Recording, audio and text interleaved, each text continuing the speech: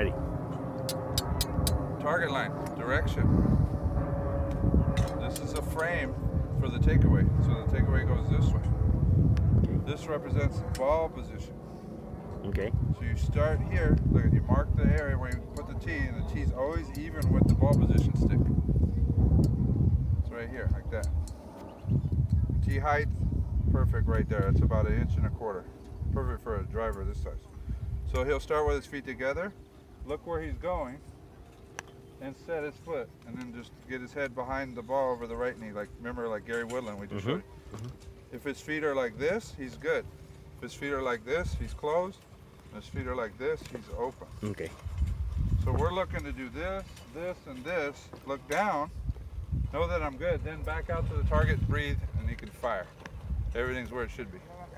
Good. Okay, so this stick is important.